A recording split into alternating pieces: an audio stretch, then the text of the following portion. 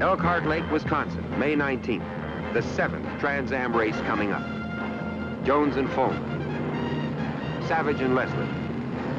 Posey and Donohue.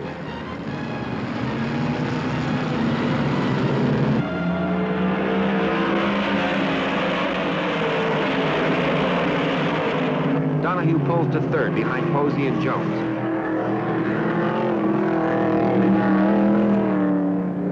Savage is coming on fast.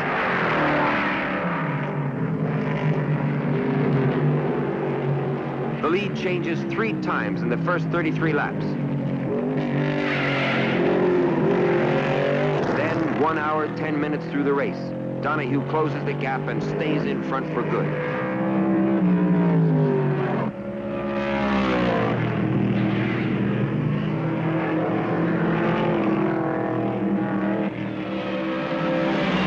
Checkered flag, a second win, and things are looking up for Team Javelin.